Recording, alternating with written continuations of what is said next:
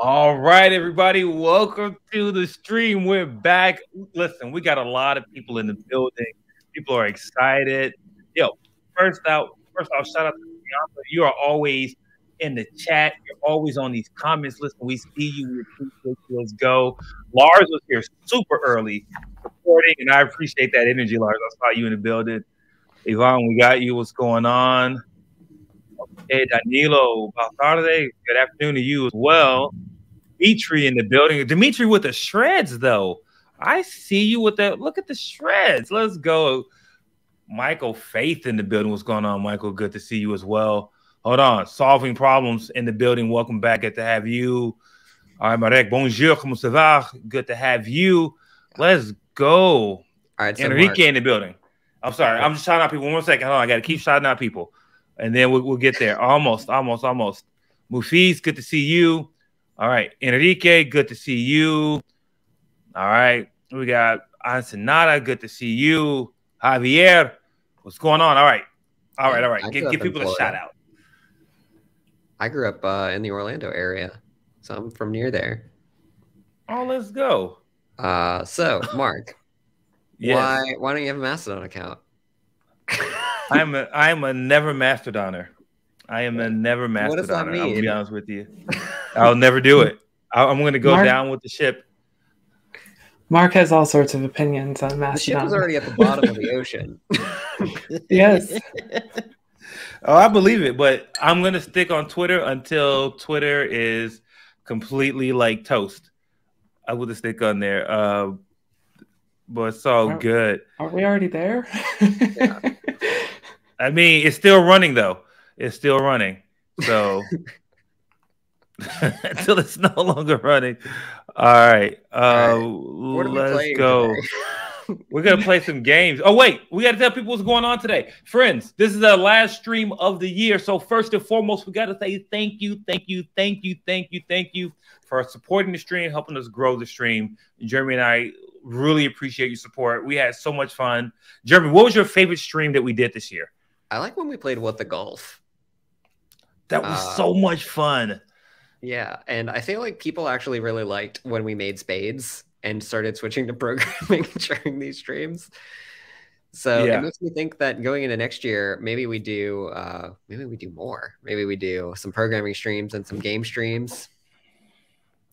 So we should do the googly thing here and set a meeting and like come up with the one page here and like and, and plan our next year as much as we like to be free form. Maybe we need to. Gotta gotta have you know, those uh, artifacts, you know. Need those proof. artifacts. yeah. But anyway, Jessica a... back in the building. Okay. Yeah. Hello, Jessica Jessica is here to save us because we don't really have a good way to play games between Mark and I right now because my graphics card died and Mark was using Stadia. Oh, oh, it is toast. Stadia is toast. Yeah. Um, oh, Pete LaMonica says this. Wait, I'm literally writing a one pager at this very moment. Mm-hmm. How many pages? Well done. It? Well done. How many pages yeah. Pete? I bet it's. I bet it's like four. right. Exactly. All right. Um, we're gonna play some games. Uh, but I will say this before I forget. Uh, my favorite stream was probably the one I had the most fun with was Uno, and I think just the chaos of trying to build Uno and like get everything running in like an hour. That was a lot of fun. So I agree with you, Jeremy, that we should do those programming kind of like programming challenge streams and but I also like playing games and people also like the vibe of us playing games and answering questions. So there we go. All right. So Jessica, uh, are you going to actually play on your Steam Deck today? Technically, yes uh, I am going to be streaming from my Steam Deck, but not using a Stream Deck while I'm streaming my Steam Deck. So I do have a Stream Deck here. So I there, do too. There is, there is one involved. I have one, but it is not hooked up because this is my workstation. Um, Wait, but, but yeah. you're using a Stream Deck to to stream your Steam Deck. I am not to the game stream. I could do that. I just chose not to today. Um, my my my Stream Deck is still in its box, but my Steam Deck is here. Javier said, say that two more times. I cannot. All right, let's get to the game. And so here's what we'll do. We'll uh play some games. Oh, wait, that's not the one I want. I want this one. No, this one. There we go. Not that's not it. It's not the layout I'm looking for. How do I get Jessica's to be the like main one? You're the one who always does this. I know, and today is just not doing what I was hoping for. All right, so that's not almost quite right. Swap, oh, swap you and the witness. Okay, almost there. Okay. Look, wait. everyone, it's oh. December. It's been a long year. Come on, also, how do we switch? Switch. Oh my god. Oh, oh, I'll need to figure out. Uh, let's see. I'm one of these people. Uh, where's the controls? Oh, you this invert? Yes, I do. Uh, Invert. I actually don't know. Oh, you know why the problem is, Jessica? Because you joined as this thing. That's why we nope, can't put that's... you as the main screen because you're not sharing your screen. You joined as the witness. Yes, that is that is my webcam. Yes, for for for the second machine that is. Uh... Yeah, you're not sharing your screen. Okay, friends, there that's all right. So we'll, we'll we'll have the witness playing uh, during the stream. You can like ask us questions about Angular. You can ask us questions about Google. You can ask us questions about Angular and. Uh, what, what if I want to ask questions? I never get to ask any questions. Ask some questions, Jeremy. Yeah, I want to ask like, uh, has anybody who's watching the stream, did you watch the NGConf talk that Alex Rickabaugh and I gave earlier this year? I don't remember how this works. I think that's nope, nope. That's no, yeah, yeah. That is okay. Yeah, okay, we're good. We're good. Okay. Wait, so the witness is made by the same person who made Braid, right? That's right, Jonathan Blow. Yeah. I've heard he can sometimes be a jerk, though. I've heard mm. that too. Hmm. Okay, so I I watched him once. Uh, I was curious if he would like Outer Wilds because uh, Outer Wilds is an absolute masterpiece and is a similar kind of idea to The Witness, where there's kind of this mystery that you're unraveling just kind of in the world around you. And the only thing that changes about you as you play the game is that you understand more. And I thought he would like Outer Wilds, and apparently he was disparaging of it. And so I kind of wrote him off after that. mm. Okay, I can feel that. Jessica, did you trace the puzzle backwards to figure out where to go? Of course I did. Nice. What, Look at that problem isn't that, solving. Isn't that what everybody does? I mean, I don't know. But so hold on. So as we're talking, I'm going to tell you folks. Oh, okay. Wait. Here's a good question for you. There you go. Oh, no. Yeah, it was the design review okay. ten years later. Yeah, I love that talk actually that's one of my favorite talks that we've given uh, as a team, and uh, that's a, such a great talk because it, it does so much to let people know that we're humans, and not only humans, but we acknowledge that there are ways that we could have made different choices and why we made it at the time, but what other things we could have done. Yeah, I'm actually going to go find the link for it real quick and put it in the chat. Uh, yeah, that sounds great. It is available online. Uh, solving problems. Nope, that's wrong. I want to zoom in on the witness, but then we'll all go away. So we'll go back and forth because of the way that we're trying to stream. Because otherwise, the witness would be like two frames per second if it was streamed directly as a shared screen. So we're trying to work around this. Okay. Yes. Yeah. So, Wait a minute. Hold on. Hold on. Can, can you not just pin the witness as a speaker? Because you you had it set up the way we want with you on there earlier. Yeah. Really? Yeah. Oh, yeah, but I don't know why it's choosing me as the like main person. Why am I the spotlight? StreamYard just loves you. Yeah, see, that's something I couldn't figure out. Is why am I the spotlight? Let me see. Because that is what we want. You're right, but I got to figure out how to make somebody else the spotlight. Let's see. Why are you not improving internationalization in Angular? We are. we have. Let's say it's really good. What's your question about it, Grisha? Like, yeah. what do you need from it that you feel like we need to improve? Yeah, so I feel like now, it is improved. So it's actually that is actually one of the active projects we have is related to internationalization. But the the thing is, it's a Google internal project that we're working on. So Google has its own unique internationalization stack and our current work on internationalization is to improve that integration with Google's stack. But uh, there's, you know, there's always room for improvement in other things. So if there's anything that we you want to ask about specifically, we could talk more about that.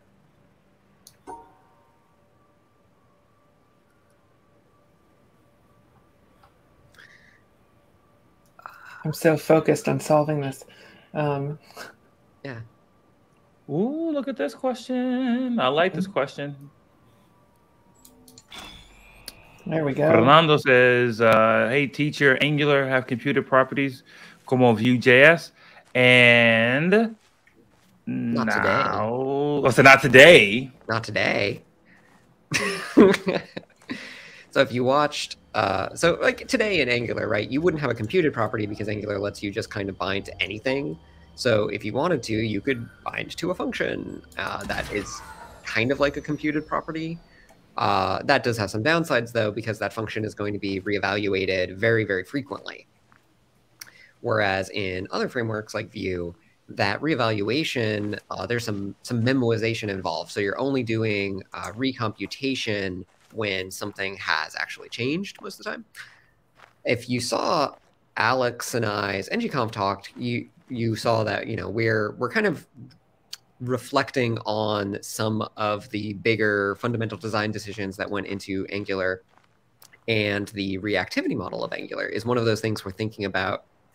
And we're very much aware of you know things like uh, svelte system Vue system like all of these things and thinking about what are the some of the ideas we can take and how they might fit into angular. So stay tuned to all of our Angular channels mm-hmm. for more information on that as it develops. I don't remember how these puzzles work. Oh, I do. Do you want me to tell you? well, I know I solved it at one point, but uh, I don't think I've okay, found... good question.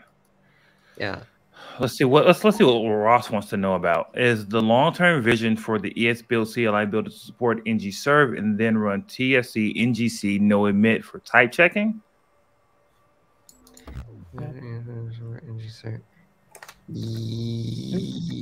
Mm, so the second let's let's split this into two two questions. One is will the ES build builder support ng serve? Yes, eventually, right? There right now the dev server in Angular CLI is the Webpack dev server, but that is tightly coupled to using Webpack as kind of a build system and a bundler. And obviously, when you're using ESBuild, then you can't use the Webpack dev server. So there will be a replacement dev server for the ESBuild setup. Oh. The second part of this about running the compiler with no emit for type checking. I don't actually know the answer to that. I don't I don't know enough yeah. about uh, the plans there. We have been exploring the idea of separating the type checking from the conversion of TypeScript to JavaScript just to get a faster edit refresh time, but I don't think there's anything concrete there yet. Oh yeah, Jessica figured it out. Yeah, I remember. I remember now see. All right, excellent question. Uh, oh, coding elegance asked something really awesome. Do you see SSR as a serious thing for the future? Yes. Uh, the answer very is, serious. yes. Uh, we need to also. I'll say the person, the person in the room right now, our guest streamer is def, is uh, working on something or not that is related to this that can confirm that yes, it, we're serious people about this. Um, I, I, think I can answer that question. Uh, yes, we're serious about this. we are. I say it jokingly because we're all at the end of the year and tired, but we are serious about this. Uh, this, this, this is a real thing. Same thing with this uh, from Alcatraz asked, does Angular Universal work with standalone components? I think it does. Are there any known limitations? But then there's an edit that says like with lazy loaded standalone components. We are not. Uh, Universal is not fully compatible with standalone yet. I think you can use it, but you can't bootstrap with standalone yet. Like it doesn't fully support all of the APIs. So I know that's mm-hmm. we are we are looking at it and we're we're working on it. It's one of our yeah. remaining standalone priorities. I think I'm doing this one wrong. I saw a question there from Michael Faith. Now that the MDC components are nope. Finally oh, stable after so long, uh, what are the big things on the horizon for Angular Material? Uh, so do you like theming? Because better theming. Um, so none of this, I'm going to say, none of this uh, is a promise. Uh, this is all just kind of this is take this as a caveat for anything I say. Really, is like things that we're thinking about and talking about. Uh, but I am not promising on any hmm. particular uh, delivery date. But uh, improved theming. So right now, Angular Material supports customization via theming for color, typography, and density. And the density is new with the MDC based components. No, doesn't like and, that. Oh, oh. Um, we want to expand that to a broader range of things that you can customize. So uh, if you actually go and look at the source code of the components, you will see that a lot of the components are already based on this concept of material design tokens, which are very like low level. Like, if you ever heard of like atomic design, you might be familiar with uh, this idea of just kind of breaking the design system down into very granular bits of information. And those design tokens give a lot more flexibility in terms of the things you can customize. So maybe that will include border radius. Maybe that will include more specific, mm-hmm. like being able to do not just like here's the primary color for the button, but like here's the like different aspects of color, um, different spacing and things like that. And the that token system. Mm. Oh, you almost had it, Jessica. I almost had it. Almost had it. You just got to not wrap around that black one on the far right. Yeah. Um, um, wait, what what did I just do? I think I need yeah, to do this. got it. Yeah, we got, got it. Yeah. Um, that token system will also enable us to support M3, the Material Design 3, and that we will get not like I won't say for free, but we'll like the majority of the work is in getting on that token based theming system. And once we have that, it's relatively straightforward to support M3 because the difference between where we are now and M3 is we're just kind of like capture as like different sets of those token values. So that is probably the main thing that's up next. Um, we're also thinking about doing some more comprehensive performance improvements for the components, right? That UI components are one of those things where you just kind of like gradually add more and more features over time. And sometimes there's uh, little bits of performance slowdown here and there. So maybe sitting down and doing a more comprehensive performance evaluation, looking at where we're doing reflows, looking at uh, the object allocations the components are doing, looking at how much DOM are we generating for each component, right? Like we've gotten some feedback that like, hey, maybe buttons don't need to generate a ripple div uh, before anyone actually clicks on it. So some things like that. that. And there's also more CDK primitives in the works. So uh, we have launched the CDK like at this point recently, like dialogue, list box, and menu. Menu is really fantastic. Uh, you should go watch my video on directive composition API if you haven't seen it about how cool the menu is. And we're looking at doing combo box next and I would like us to tackle like tabs and grid in the not too distant future, but that's a little still undecided. Uh, let's see what happens if I try to solve the other one here. Does it close that other door, or does it leave it open? Uh, yeah, you're only. I think you're only going to be able to do one, right? Because you're yeah, like completing but the circle one way or the other. But I already opened the door. So I think it should be okay. Yeah. So, Mark, uh, Web three, you've selected this question here. How how spicy are we going to be?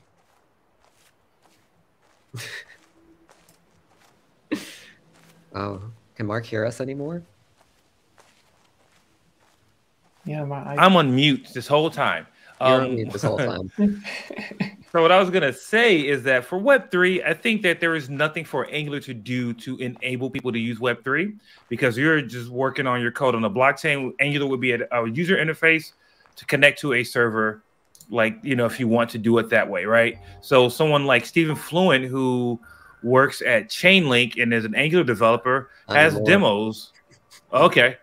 Uh, well, he had some demos where he had uh, used Angular as a front end, right, to like yeah. do Web three stuff. So Web three, it's really up to you, Oluwaseun. Like you get to choose on your own adventure with that. Uh, Jeremy has a spicier take that you may share if you if you desire. My my personal spicy take is Web three is nothing. yeah, right. That, I know that's that. actually my spicy take too. Web three is nothing. it's nothing. That's personal takes, not the official position of Google or any Google, you know, whatever, blah, blah. It's our personal feelings. Making sure people know that. Somebody's going to be like, Google said Web3 was nothing. And then the Web3 people are going to, you know, yeah. attack us in flux. Uh, what is your opinion about? Okay. Go ahead, sorry. I was going to say, like, before we get to this next question, right? This is like I think people have a lot of like misconceptions about big companies like Google, where it's like there's not one person walking around who is the Google and like making statements right. and making decisions, right? There's like tens of thousands of people who are all doing their best with their their personal expertises and flaws, and like you know, you see articles on the Verge like Google says this, Google says that. It's like Google's not a person, right? a lot of people, a lot of opinions. Uh, speaking of opinions, oh, what is our opinion about Nrwl, like the NX? So this project have any official support from us, and do you think it's a good direction in the Angular ecosystem? Uh, I want to take a stab at this one. Yeah. So NX, the tooling started off as being built on top of the Angular CLI in the original, like some of the earlier like versions of that tooling system, and then they evolved it and made it their own fantastic project. Um, you're gonna hear us say this a lot everything is great. And if you're able to use like NX and hit your project goals and ship your projects and have a good developer experience, you should use it, right? If, if it's going to solve problems for you. So, do I think it's a good direction in the ecosystem? I mean, the ecosystem, it's hard to say what's a good direction for the ecosystem because you all are the ecosystem. You get to decide and build and do things. So, I don't think that's for us to decide.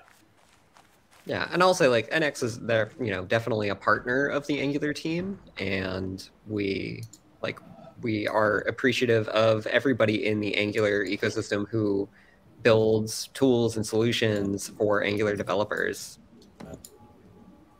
Um, I know we we've talked to a lot of like especially larger enterprise customers of Angular who are all on NX and they all seem very happy with it. Mm-hmm. I remember nice job, Jessica. Now. Yeah, I saw that. Yeah, this game is so good.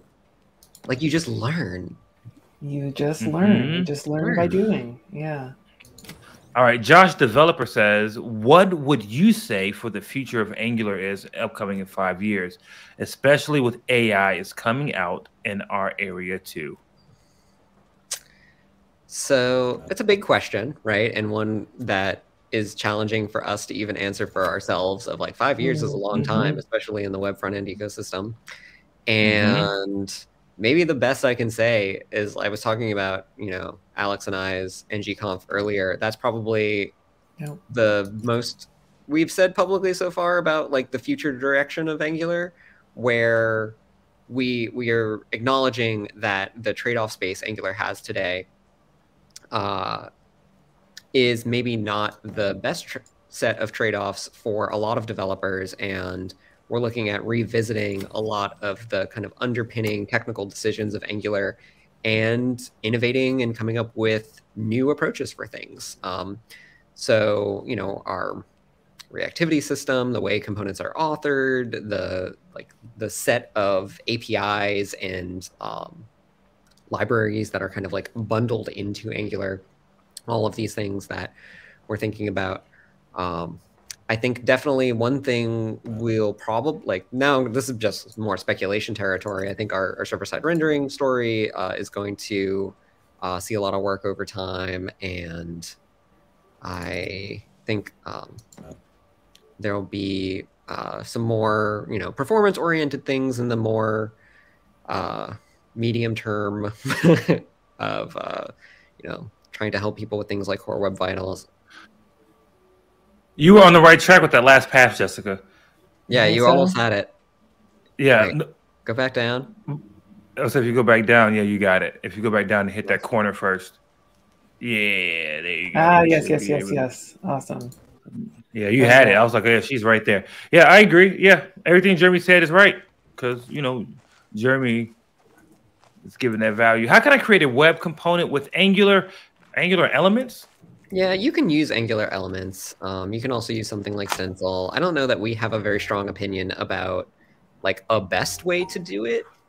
Mm-hmm. Um, I have some ideas about uh, future evolution of Angular elements, but they're probably too early to really talk about. mm, okay, then don't don't don't hint about it. Uh, what about this though? What's your opinion on RX Angular? Can it be integrated into an Angular repo for better performance? Better performance is a really hard thing to quantify. Yeah, this this is our favorite answer to give, which is it depends. Mm-hmm. right. Um, so yeah, like I think like there's a variety of different state management solutions for Angular out in the ecosystem, and hmm. there's like with all of software engineering, right? There's never one right solution. There's no silver bullet that's right. the perfect technical solution for every problem, and so things like RX Angular and NGRX and uh, NGXS, all of these things, you know, they're slightly different, and it's up to you as the application developer to look at these things and figure out what is going to work best for the product that you're building. Um, that said, you know, we are always looking at how do we improve Angular and the primitives that we provide as part of Angular to make building and choosing solutions like that mm-hmm. easier. Yeah, this isn't mm-hmm. right. Um, go back to like the left part, and if you go up from there, up from here, yeah, this is what I did before. I didn't like it. You bifurcate, and then come down here, and do that, and then. Uh, but then you skipped one. Yeah. oh, yeah. That dot, the black dot that's underneath that bottom white one is really, that's rough. This here. Um. Actually, well, you have one go back, go one back. dot that's left out, right? Yeah, go back a bit because you've Which got one dot? black one mixed in there. You just have to exclude that one black one. Yeah. Which black one do I have mixed in? Um, go so go up one grid. Yeah, oh, go back left. Yeah, see right there, that black yeah. one is in there. So go up around that black one. The, the this sorry, the black, one here. Yeah, that black one. Yeah. And then, right. uh, yeah, yeah, yeah. You got, you had it. I'm, I'm confused what you're saying here. so I have to go through this. Yeah, now go I have up. to split all of these. Yeah, yeah, but go back a little up. No, yeah, cross cross the black one and then go immediately up and around, and then down yeah. Uh, ooh. And if you hold on, hold on. Okay, I see. Make a bigger, make a bigger, basically a bigger loop around that, so you can hit the black one on the path on the way back. All right, as we're problem solving that. so go up from here, and then okay, let's uh, see. One more, one more up, and then two right, and then mm-hmm. down. Mm-hmm. Except for I can't. Oh, you have to include those in your path. Yeah. Yes. I didn't know these that. have to be included. And I've been trying uh... to split ah. Split these. I didn't I don't think you have to do a right angle. No, you you just have to to segregate all of the white ones from the black ones. Yeah. So like shouldn't this be fine? Which is which when you say it out loud, actually. I was going to say, as you say it out loud, is NGRX a native Angular system for state management or is it an external library? It's external, Fernando. Uh, we don't maintain NGRX, but it is uh, one of the great community projects out there. Okay, let's see. Uh, we use Angular elements for building micro front ends. Can you talk a little bit about how we can use Angular elements and standalone components in this infrastructure?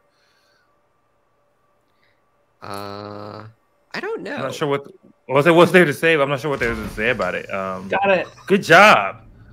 Let's go. Oh, you got the door oh. open. Jessica got it. Yeah, I'm not really sure. Backseat gaming. Yep.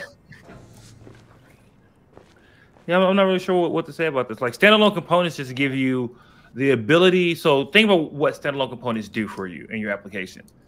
They give you the ability to create a component that manages its own dependencies in the component and is not bound to an ng module, right? So that's what you get. So I don't know if that changes how you do an Angular element, right, or something like that. So just kind of consider that. Yeah. Uh, I feel like there's some there's some questions in here that are some very easy answer ones. Sure. Let's, let's keep going through them. Uh, masterclass on how to create an entire project without ng zone. If we ever arrive at the place where there is no ng zone, we will teach you how to do it. But yeah. So I will say, well, we are absolutely we've had this on our our road our public roadmap forever, right? We are absolutely working on a path towards having a much more ergonomic Angular experience without zones. Uh, stay tuned for more information on what that will look like. mm-hmm. Material three, yeah.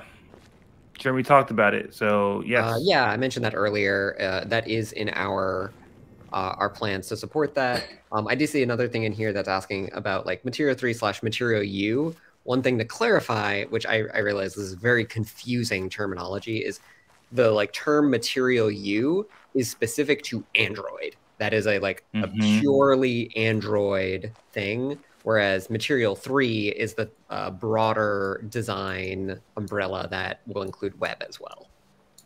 All right. So, for the sake of getting through these questions, Jeremy, we're gonna have to express a little bit more brevity in our answers because we have a ton. Um. Can Angular be resumable or support hydration like Astro or Qwik in the future? Uh, Jessica, can you answer this? Yes. So we are actively looking at hydration right now. Um, we're doing a lot of experimentation. We have uh, a couple of prototypes we're working on, and we're very excited about what that could look like. Uh, we, we, know uh, up to this point we've only had what we call destructive hydration, meaning not really hydration. We destroy the app and recreate it. Um, and um, we just have some very, very promising prototypes that show that hydration is something that we can actually do. So we're we're really um, looking forward to what the next few months will bring. So keep your eye out for it. Um, I think we're very excited about what hydration can bring, and also what the future of server side rendering will will look like for us. Yeah. Excellent.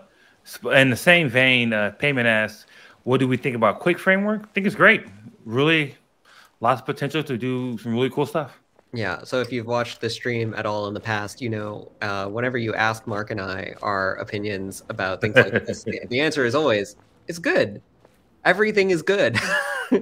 Right. We'll, yep. We'll definitely give you a quick opinion for sure. Mm.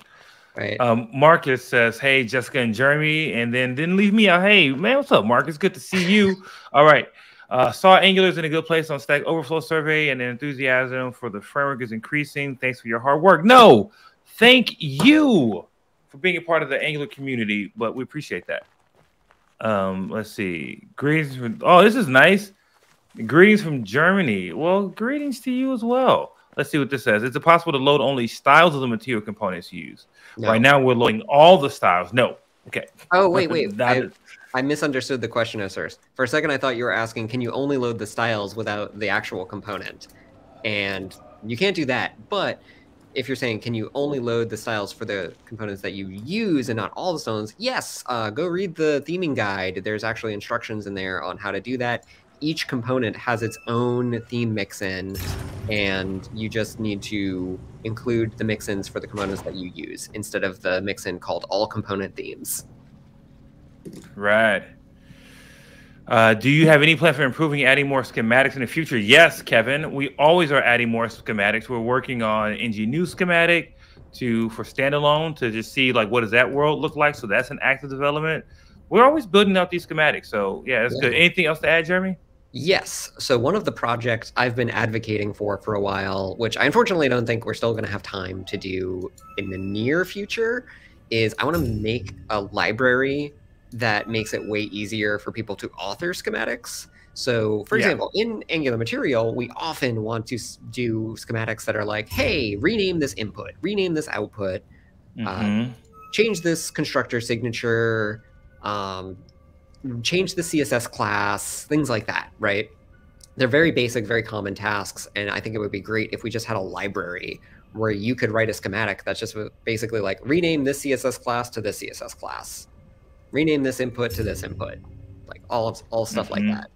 And so I think that's something I'm going to continue uh, proposing, advocating for, in yeah. team meetings, and uh, I think we'll hopefully get to it someday, but I don't know exactly when. This is my favorite question. My favorite, favorite, favorite question. Is there any plan to create a full video course by the team? Yes, I am literally at the final stages of creating our Angular course this is also why we're, why we're all tired because we had a really busy and packed year. I was hoping to launch it this uh, year. I was hoping to launch it this year, but I'm waiting for some reviews and some final feedback from some stakeholders, and one of which may be on this call with us right now. And uh, once those are done, once those are done, I'll, I'll be able to film.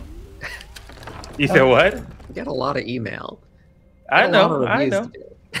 I know, I know, but yeah, it, seriously, that's coming. Like 100%, you can expect to see that uh, soon, and I say soon within like the world of like, yes, this is the thing that we're working on, and it's like not even at the, the planning phase. This is literally at like final reviews, making sure that the content's the best that it can be to support you folks. So yes, Josh, this is happening ASAP. Um, let's see. I'm with the J. Okay, what are you guys playing? Okay, wait one second, Javier. What are we playing? You want to play this? It's called The Witness. This game is called The Witness. Yes. Wait, this is a good question.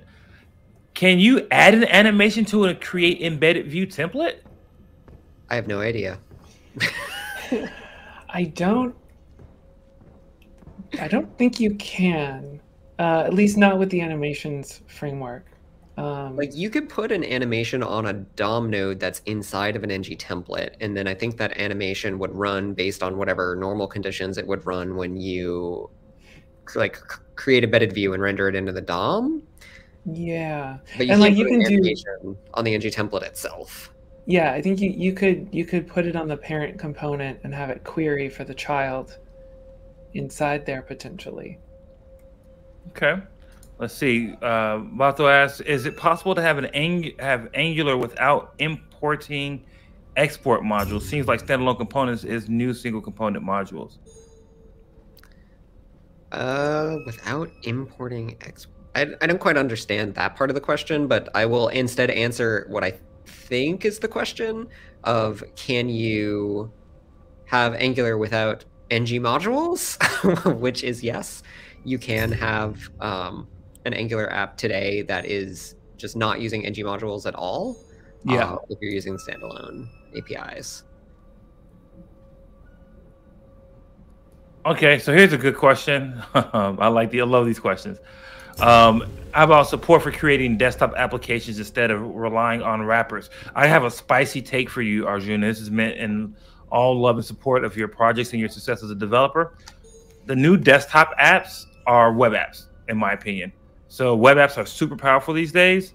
So build a good web app and you can do cool things like make it a PWA, which is not a wrapper. But if you made it a PWA, it makes it installable. It makes it work offline. You can still get updates and you can still do like storage of information. I mean, there's lots that you can do, and it makes it, and like I said, installable is a bigger thing because otherwise, why not go to a web browser? But make it a PWA, and as a PWA, you can actually distribute it on the Microsoft App Store right now. They let you distribute PWAs through their site. I mean, through their App Store that are installable on your on your computer. So yes, that's how it sounds great. So do that that way. Yeah, um, and I will say, like from from a kind of a like strategic view on the Angular team, we think our time and the you know limited amount of people we have working on the project, right, like is best spent focused on building the best solution for building web experiences. And if we were to try to split our focus into supporting mobile applications or desktop applications or kind of like other factors there, then I think that would mean we are putting less time and energy behind building great web experiences. And that, that's the thing we really believe in and the thing that we want to do. Excellent answer. I like that. Okay, here's a good one from the Schnau. Says RxJS is a bit confusing for new developers coming from React. Do you think in the future there will be a way to make unsubscribable automatically without using? Oh, that's interesting. So this isn't a call for removing RxJS, but more guardrails around like memory leaks and unsubscribes.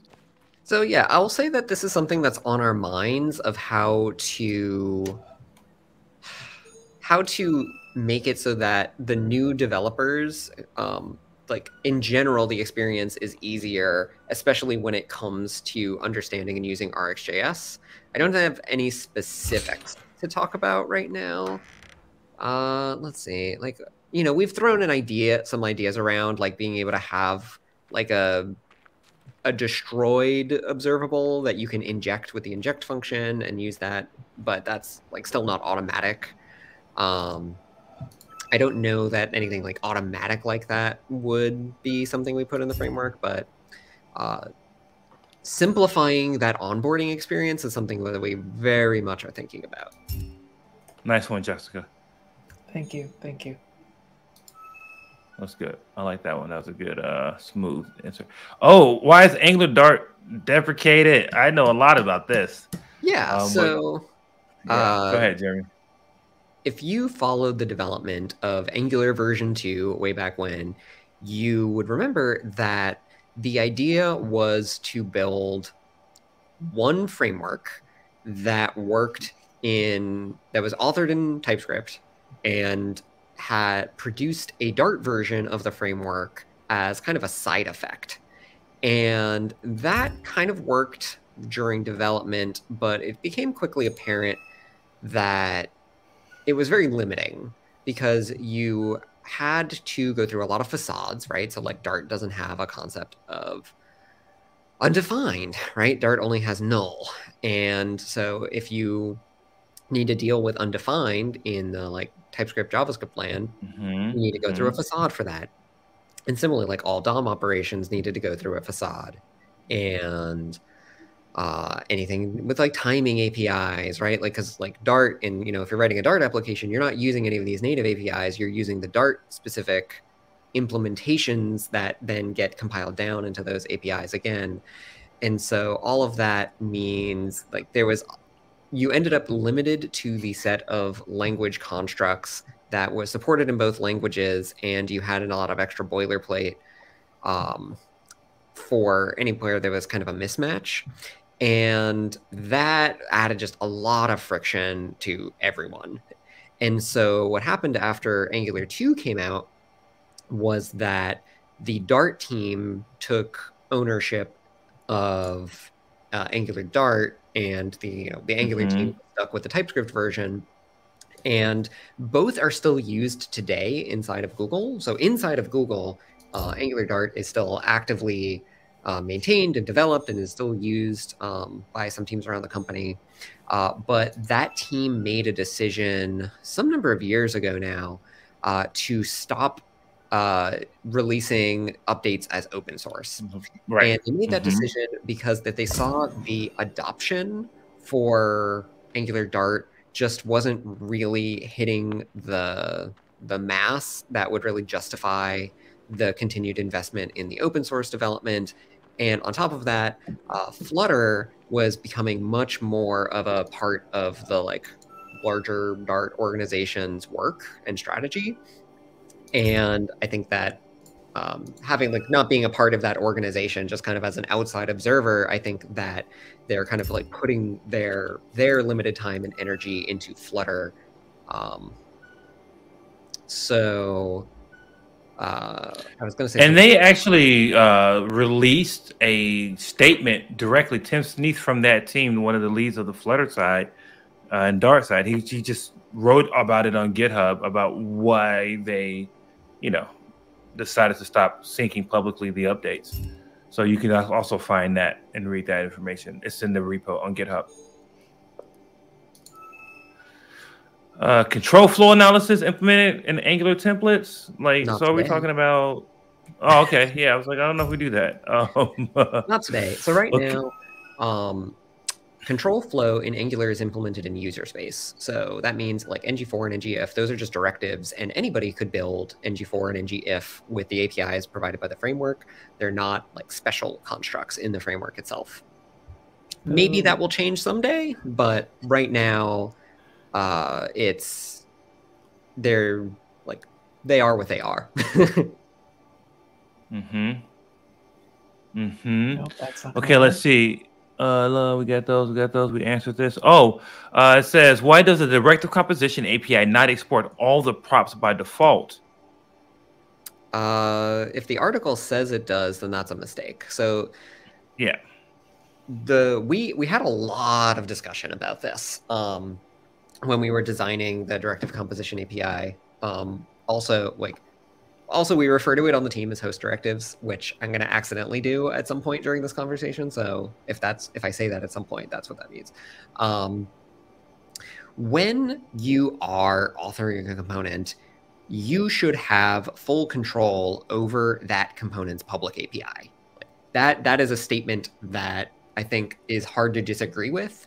And the problem with using the host directives, where you add um, directives that may be authored by someone else, um, you then, if you automatically expose all of the inputs and outputs of those directives, you are losing control of your component's public API, especially if those directives add or remove, um, or I guess like add or rename things over time. You're like suddenly there are just like new APIs on your component, and maybe you didn't want to expose those. Maybe one of them you want to say like, I want to hide this one, and just like always set it to true or always set it to X or whatever. And so by making it always explicit of saying these are the inputs I'm exposing and this is what I'm going to name them, these are the outputs I'm I'm exposing and what I'm going to name them, that component author maintains that full control over their component's public API surface. No surprises. Rodwin in the building. Got a shot of Rodwin coming in hot. What's going on? Holiday greetings to you as well. Good to see you again. Good to have you back in the stream. We got so many questions, but we are like only 12 minutes left in the stream. Um, so I want to make sure that we get to as many as we can. Let's see. so many. Oh, this is a good question. So, like, oh, Steve, what's going on? Good, good to catch you again. Uh, do you uh, or does Angular 15 Universal and Firebase Cloud Functions play nicely together? Do we know of a working example? I don't know if there's an example of it right now, but that's something I can uh, ping out to the Firebase team. Like, hey, build this real quick, set this up. Theoretically, they should. I don't know of any reason yeah. why they wouldn't. I think we just haven't sat down and built an example. Right. Yeah, I want to take a note to reach out to the Firebase team and be like, hey, can we do this? Like, you know, can you all build an example to show the streets how to do this? That'd be nice. Okay, uh, let's see. Uh, let's see. What state management system would you recommend? okay, here's a good question. What state management system would you recommend that is easy to implement NGRX or NGXS? And I want to throw this actually to the community. Uh, there are lots of options here. So, community people who are in the stream, which one do you think is it is easy for you, or do you recommend to people? And let's let Javier know why. Uh, you know, so I guess support your answer. It's kind of like school. All right, say why would support your answer, and that way you can help Javier make a good decision. What's up, Brandon Roberts in the building? Good to see you in here. Let's go. Uh, let's see. Mm, This one's tough. It is. Okay, let's see. Uh, let's see. So many questions. Oh, okay. Let's see what Ross has to say about this one. Any hints about upcoming improvements to Angular Dev Tools? Yes. The profiler is great start, but debugging change detection perf. Uh, there is there are updates for change detection cycles. You can actually get details on individual cycles now. So make sure you have the latest version of the extension because we released that. uh, to give you more control over like uh, checking your change detection cycle. But what's coming up is like dependency tree. You'll be able to like see your uh, your dependency tree in the browser. We're working on that, so that's coming up. Yeah, your your injection hierarchy. Yeah, there you go. Your injection hierarchy. That's the right language. All right, let's see. Hi from Romania. Hey, what's going on? Good to see you. Um, I was wondering if there's any official Angular certification platform. No. Nope. no, we do not have. If anybody tries to sell you one, it's a scam.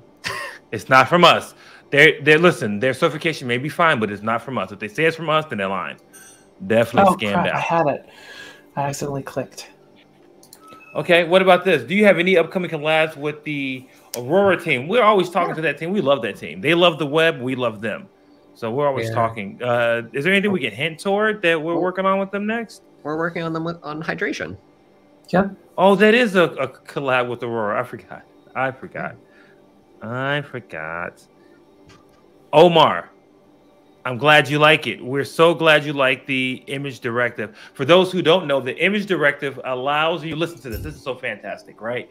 Built in, all you got to do is it's coming from at angular slash common is there. Uh, the image directive use ng source instead of source in your images. And guess what you get to do? You get all kinds of hints and insights on how to optimize your image performance. But what's even more is that the directive will actually add some of those things for you to help you get some very expedient like loading and you know help you get to that first contentful paint nice and smooth with those uh, images. It's really great. What does Arthur say? Arthur, first off, thank you for being around for five plus years. We appreciate that. And thank you for noticing our hard work. Arthur says, I've been using Angular for five plus years. It's surprising to see how the framework has evolved over the years. Congratulations. Well, thank you. We've been working hard. Oh, Jessica, the streets are saying that uh you look proud after that last one that you did. Uh, so. This is oh, these, this are, is, these are pretty tough puzzles. Yeah, well, you've been opening lots lots of doors. I didn't know this whole game was just these like puzzles. I don't even know as a developer of this game, how do you you just like sit down with like a grid paper and you just like design puzzles all day for a few months and put them in the game? More more like several years. yeah, right? Yeah, right?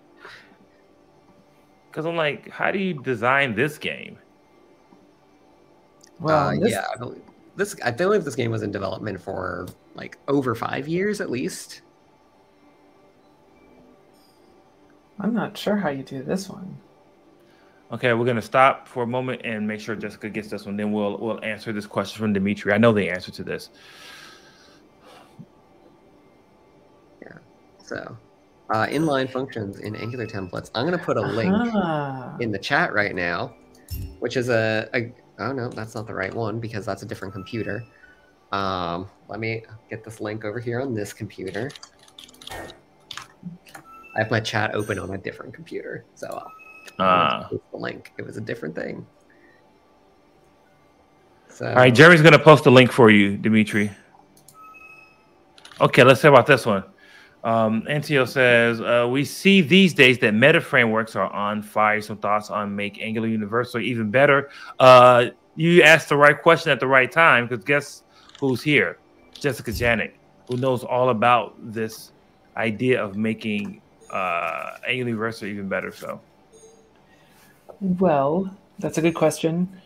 Um, I have yeah. to look over here because, like, I've got the game yeah. on this monitor and Let's see. Yes. If you uh, want me meta- to make a, a, statement about meta frameworks in general, I can do that as separately. Feel, feel from... free. F- feel free. But uh, as far as Angular Universal, like we're we're looking at it holistically. We're uh, trying to identify every bit of pain points that are out there with it. We know, well, because uh, Angular Universal actually started off uh, not maintained by us. It was a community creation, and we just never really had the time to focus on it and prioritize it until now. And um, there's a lot of research that has to go into that. We're working with people who have worked with all the other, uh, well, not all the other meta frameworks, but uh, uh, other frameworks that have had similar problems so that we don't have to reinvent the wheel as we look at the APIs that uh, Angular Universal has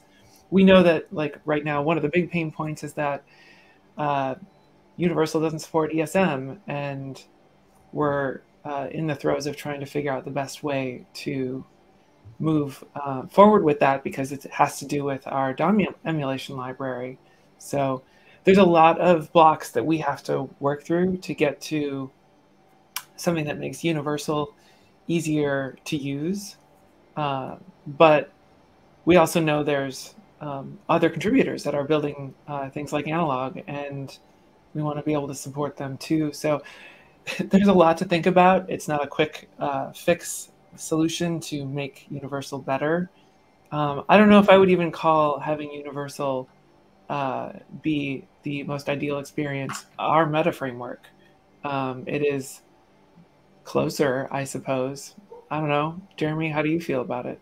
Right. So when we talk about meta frameworks, as are commonly discussed in the web ecosystem today, I think there's uh, like three different parts of what constitute a meta framework. There's the front end framework that is running in a browser client. There is the server framework that is running on your like UI node, right? Your like UI server. And there is the infrastructure that ties those two things together, where that infrastructure actually encompasses quite a, quite a number of things, including like a build system and any feature integrations between those two. No. Now, uh, and often like it's pretty commonly accepted that also includes like server side rendering and some amount of hydration as well. And in Angular, we've always had all of the different pieces of this, right? So we have absolutely we have the framework that runs on the client side in the browser. We have Angular CLI, which gives you kind of this build system and a test runner infrastructure and um, various like lint and code safety checks and things like that. And so, uh, and then the, you know, Angular Universal has also existed for doing server-side rendering. And what's really missing is the package that puts all of those things together. Um, now you can have like a like there's some debate to be had about what things are like necessary to call it a meta framework. So I think one contentious thing is file-based routing, right? Like a lot of things like Next.js and Nuxt and SvelteKit, they all have this. Is, does that mean that that is a hard requirement for something to be called a meta framework? Mm, right. Maybe, maybe not. Um, where we are today is like we are focused on just taking the pieces that we have and continuing to improve them over time. So Jessica talked about, you know, improving Angular Universal and server-side rendering and hydration is something we are uh, invested in and is on our roadmap. Um, we are improving Angular CLI.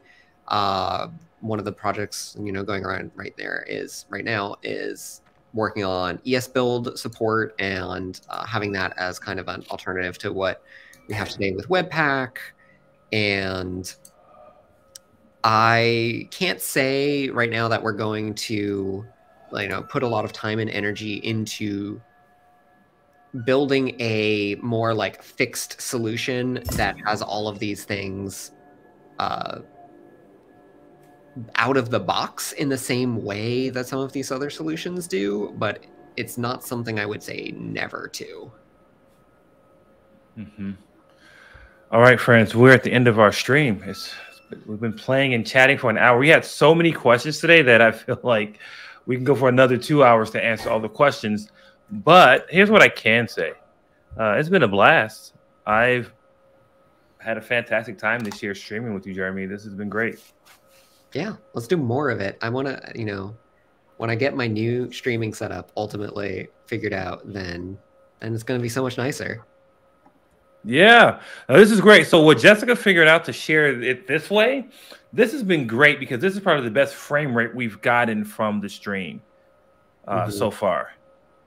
Yeah. So this is this might be a solution. I don't know if it's the only solution, but I'm gonna maybe try something like this next time I have to play. But I'm also excited about building new games. Uh, friends in the chat, listen, you all have been fantastic. We do the stream for you, for the people, for the streets. So thank you for being a part of this and supporting us. Uh, 2022 has been fantastic with you all, and be ready for what we do in 2023. More streaming, more games, more building stuff, more Q and A's, and just really more building great apps. All right, friends. Any last words, uh, Jessica, Jeremy? Get on Mastodon. Get on Mastodon. Never. And uh, happy holidays. Never that. Never Mastodon. Get off of Mastodon. No, what are you Anyway. Absolutely not. Ugh. No Mastodon for me, but that's all right, friends.